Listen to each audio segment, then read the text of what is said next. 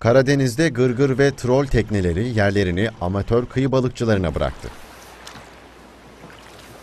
Batı Karadeniz'de yoğun geçen sezonun ardından balık popülasyonu azaldı. Bu yüzden bölgede avlanma amatör balıkçılar tarafından yapılıyor. Şu an hamsi yok. Bu sene vardı hamsi. Hamsi birden kesildi. Bu Tirollarda da yok balık. Artık hava şartlarından mı bilmiyorum. Çok zevkli yani. Bizde şey yok. Atıp çekiyoruz işte. Yani bizde 3 tane 5 tane balık olsa yemeklik balık çıkıyor. Karadeniz'e ağlarını bırakan kıyı balıkçıları 6 ila 10 metre uzunluğundaki kayıklarıyla kendi ihtiyaçları kadar balık tutarak Akçakoca limanına dönüyor.